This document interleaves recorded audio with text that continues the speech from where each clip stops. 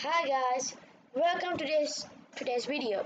Today I'm going to show you how to make a very simple dice using microbit. So when I click shake, it shows my dice number. So this is I don't need to like shake this and go along. Just click shake. I got a four now. I got a three. I got a six. I got a four. I got a six. A five. You can make like this again.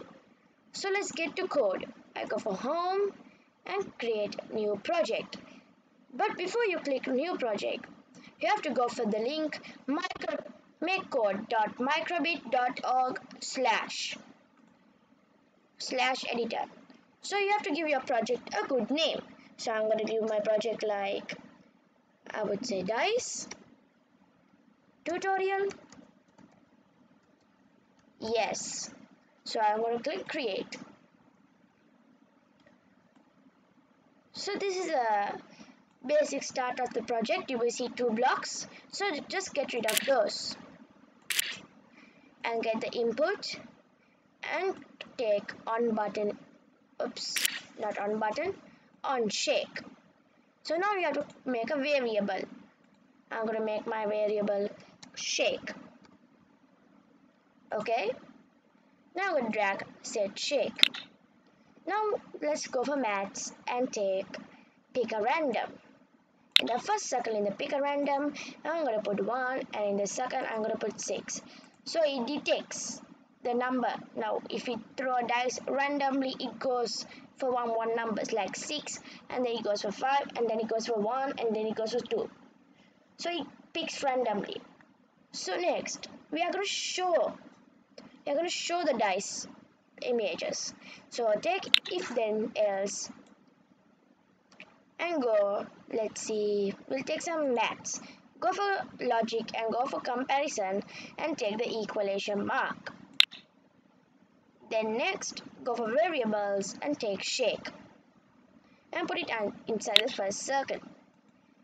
Put one inside I'm just going to duplicate and keep it aside and what happens if the shake equals to 1?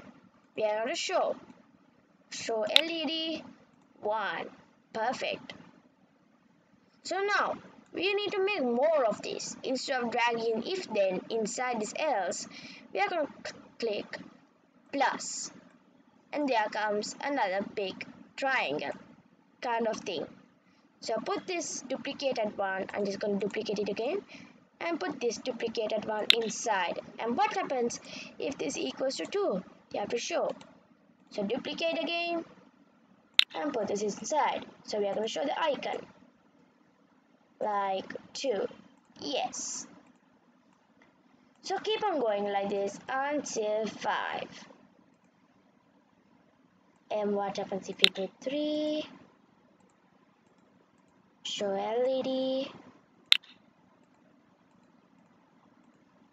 And put this inside. And again click the plus. Put this inside. What happens if we get 4 show the 4 icon. I'm wondering how does 4 look like. I guess like this. Because it have 4 sides like a square. Yeah. Again plus. And duplicate put this inside and 5 and again what happens if we show 5 LED so now we are done. So what happens to the 6 and what happens to the space right here? Well we are about to find out. So when now we are down for 1 2 3 4 and 5 so the remaining number is 6 so when this picks the random now when this picks 1 and when it picks 6 and if none of these come then it goes for the remainder the else. Others are else if so it'll go for else. So duplicate. And show how the 6 go. So this is 6 so I'll start my simulator. Shake. Oh I got a 4 Shake. I got a 1 now. Shake. I got a 2. I got a 6 now. I got a 1. I got a 2. So this project is really useful for the people who are playing Monopoly, Ludo, etc. So they can make this. So and also this is very useful if their uh, dice breaks or they get lost with their dice. So this microbit comes in handy. It comes to rescue you from playing, stop playing your games. It comes so you can power up your microbit, download the code, and then you can play. This has a dice, so when you shake, 3, 6, and 2. So you can make some awesome projects like this.